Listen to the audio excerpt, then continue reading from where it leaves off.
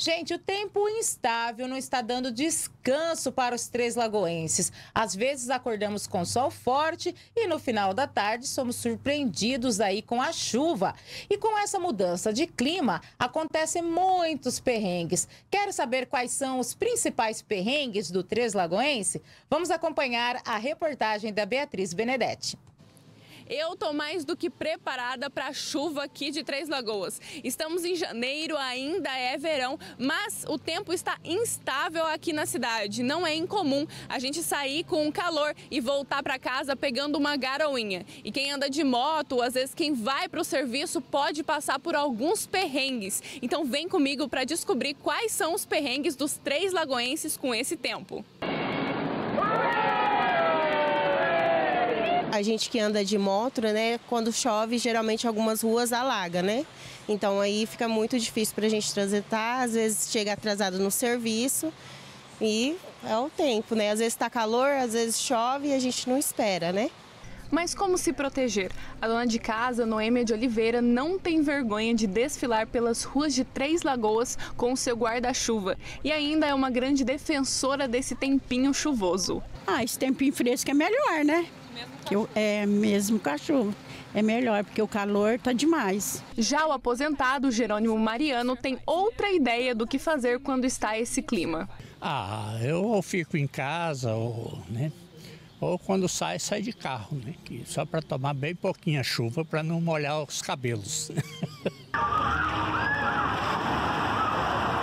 E Jerônimo ainda conta que o clima chuvoso contribui para o aumento do apetite. Ah, isso daí é um bom convite para a gente engordar, porque sempre abre o apetite, né? Uma... Mas e para aqueles que andam de moto e precisam chegar no trabalho? Com certeza já passaram por algum perrengue. Pamela de Souza é atendente e usa sua motocicleta para chegar até o serviço.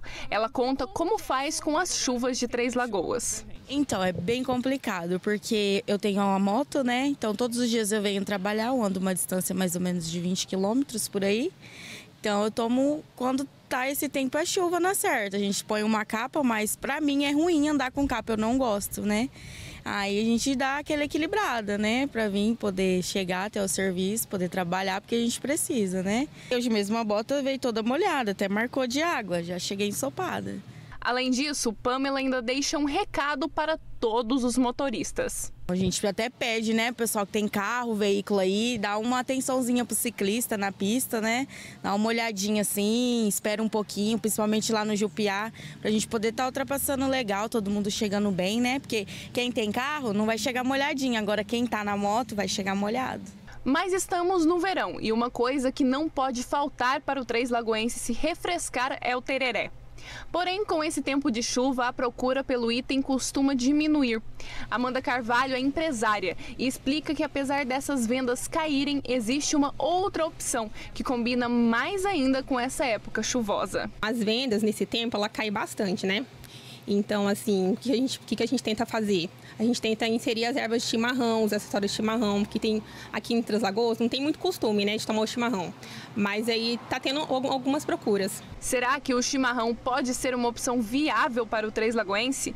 Quem ficou com vontade de introduzir essa nova bebida no cardápio já sabe, né? Bora aproveitar. E depois de escutar essas histórias, eu quero saber aí do estúdio, vocês já passaram por algum perrengue? Conta pra gente.